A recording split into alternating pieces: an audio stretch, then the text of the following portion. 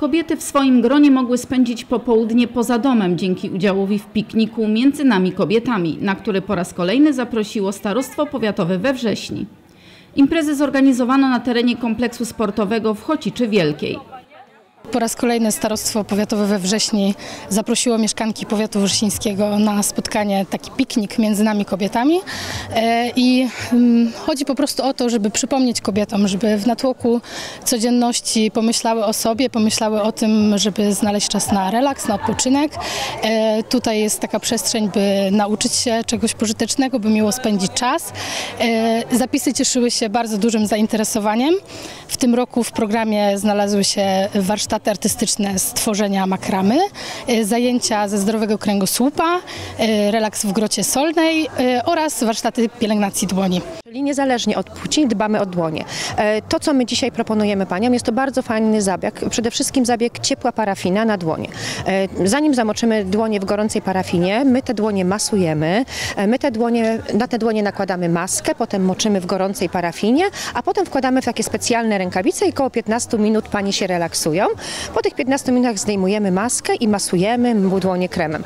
Więc około pół godziny trwa taki zabieg. Ten zabieg naprawdę jest bardzo prosty, a dłonie są po prostu doskonałe. Doskonałe do całowania, doskonałe do e, robienia makramy, doskonałe tak naprawdę nawet do pójścia do ogródka, bo nic się z nimi nie stanie. Zdrowy kręgosłup to jaki i z drugiej strony jak się popsuje, to co można zrobić? E, No, żeby się popsuł, to raczej tego byśmy nie chcieli, ale jeżeli coś już się dzieje, czy są jakieś bóle z tym związane, to jak najbardziej można się wybrać, czy do masażysty, czy do fizjoterapeuty, ale też jak najbardziej ruch e, tutaj jest wskazany, e, czyli cyklicznie oczywiście, cyklicznie wykonujemy takie, takie zajęcia dla osób w różnym wieku, bo oczywiście tutaj e, te zajęcia są dla każdego. Przedział wiekowy mamy od 18 do 70 lat. Także muszę przyznać, że panie nawet te w tym starszym wieku świetnie sobie radzą. E, wiadomo, że no, sprawny aparat ruchu jest bardzo ważny, e, żebyśmy zadbali też o naszą postawę, więc my się tutaj uczymy wszystkiego od podstaw tak naprawdę, czyli bardzo ważny jest oddech, to z jakiej pozycji e, wychodzimy i wtedy możemy przejść do dalszych ćwiczeń. A jak powinniśmy na co dzień dbać o kręgosłup? E, No przede wszystkim nie powinniśmy ciągle przebywać w jednej pozycji. E, Ja zdaję sobie sprawę z tego, że ciężko jest no, przy pracy siedzącej, stojącej, ale też są pewne triki, które pomagają nam w tym i też staram się właśnie osobom pokazywać, w jaki sposób nawet będąc w pracy mogą pomagać sobie, żeby odciążyć ten kręgosłup. W jaki sposób na przykład?